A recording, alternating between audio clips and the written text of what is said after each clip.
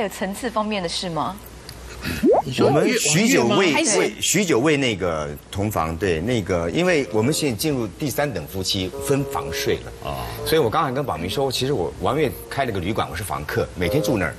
我们很久没有那些事情发生了。这样好吗？很好哎，一等夫妻 又开始讲了，就是分房嘛，然后再来就是呃同同房但分床，对然后一般的就是同房同床。那因为我们现在年纪大了，你们是三等，对到最后面没有我们一等要到得来三二一，对，所以顾宝明就不会影响到睡眠。对对对，他们好像还是叠着的，对，叠着。四等叠在一起。然后叶姐，你这么爱国修老师，可是你已经完全可以接受这件事了吗？对，我们就是都是开房间的，就今天在哪一个房间，不是说睡觉还是要睡觉，睡得好。对，所以你是说特别，因为我们两个都会打呼。所以你们的激情是要特地相约，说哦，对对我们哪一天到哪里去？对对对对对，你们要预约的，你们到哪去？在我的房间，就是不是他的房间，就我的房间。我们我们现在房间有争议啊，就是我的房床比较硬，他的比较软。对，今天是今天是做长青公寓的，是屋前面那个，观众会不会纳闷？对，而且题目就再老也可以有用。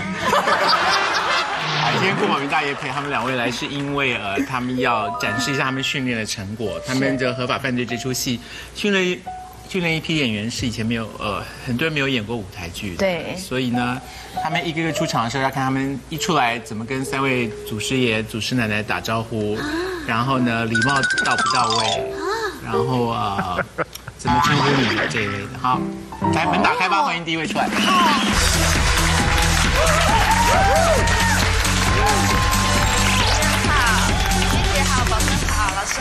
这么平淡吗？对啊，你到排练现场的时候，只要这样问好就好了吗？通常是这样，就只要说月姐跟宝哥，就宝哥好了，月姐好，老师好。然后呢，总要问候吧。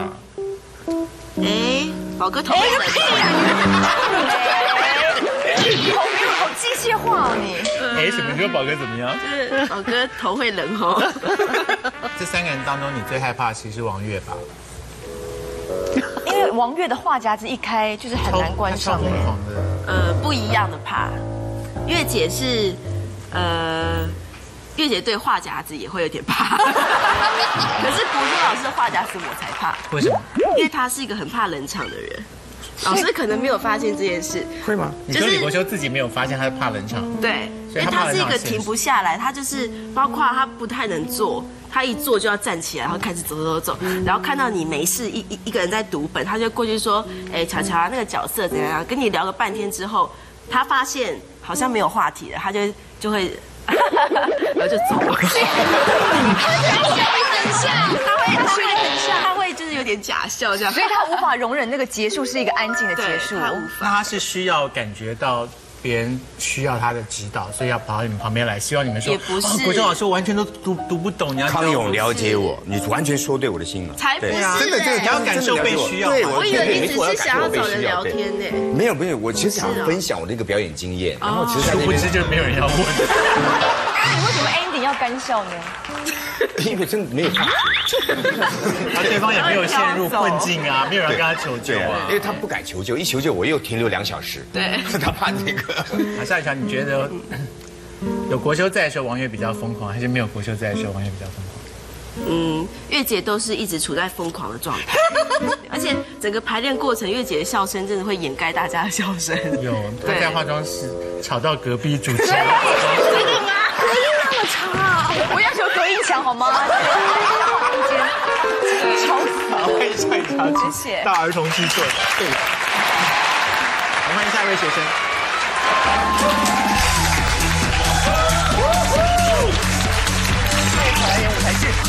大家好，你好，我小小宝哥好，你主持人好。不好，我们不好。怎么了？为什么？老师，这太不合理了吧？对吗？为什么？因为他在戏里面不是演水蜜桃，不是演小蜜桃姐姐吧？呃，不是，不是他现在是演另外一个人，他另外就是真真真的人，是不是？呃对，是啊。我是演真的人可是他的啊。声音不是真的人，他声音是机器人啊。我们会调整他，我们有很多训练。所以他到舞台上之后会换掉小蜜桃姐姐的声音吗？已经换掉了，他现在已经换掉了。真的吗？那你再出来一次。啊，我不要小蜜桃，我不要小蜜桃这样。对不要小蜜桃，用头安安，就用剧中可是角色。我我讲话也没有差到哪里去啊。现在有吗？出场来，主持人好，薇姐好，国学老师好，宝哥好。他有那个主持人好，老师好，他有那个啊。他总不能在戏里说你为什么要离开我？我不依，我不依。不嘛不，不要逼我嘛我才不会这样子。我要看，我要看一出戏，大家都这样，我会喜欢这。可是老师他声音就分明就是这样子啊。我们其实有发现他声音有问题，后来我们做一个一个练习，因为他本身声音，他因为他现在嘴型很小嘛，原因是因为他过去是那个舞蹈团，呃，不，你是那个舞蹈的，没有，就是跟那些哥哥姐姐跳舞嘛。那种时候我在中间，我要提示大家动作。譬如说，我们明明要对歌词，然后要转弯转圈，那所以我习惯嘴型不变，可是帮你讲弄一个话。所以台词就一句而已，就是回过头来说。我已经不爱你了，然后你不要出声音，你只要动嘴巴，小 S 会帮你配上沧桑的声音。好，我已经不爱你了，就有一句而已。好想好，所以要。回过头来哦。好，一、二、三，转头。我已经不爱你了，我已经不爱你了。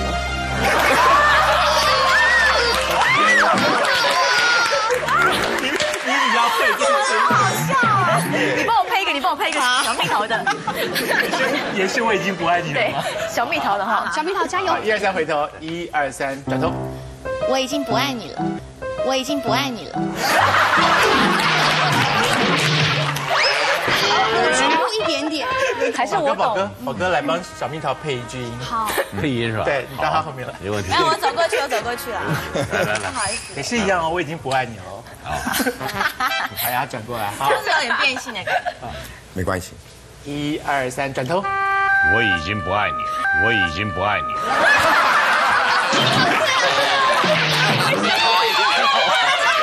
那个男的应该说好险。谢谢。小蜜桃服装藏玄机，顾宝明虎视眈眈。弟弟，我们今天这么靠近，我才发现他的背心有玄机耶。怎么说？你知道他扣子可以这样掰开？要试一下。所以，就如果回到家的话，你就可以。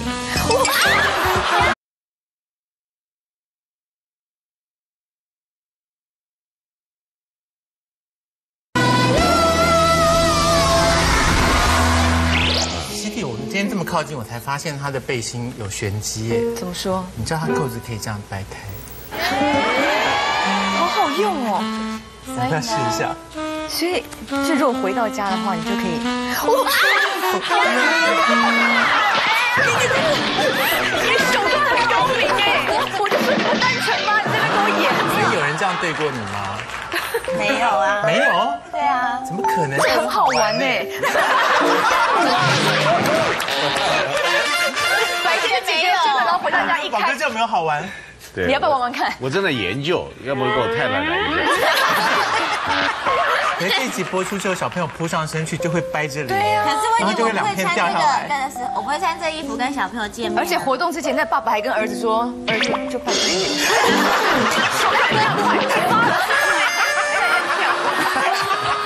小蜜桃，我们要跟你聊一下顾宝明老师的婚姻的事。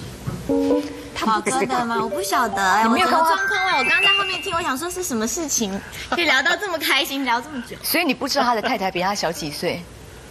我不晓得哎。要不要二十，宝哥你好厉害哦，而且是第三任太太。超酷的，果真宝刀未老。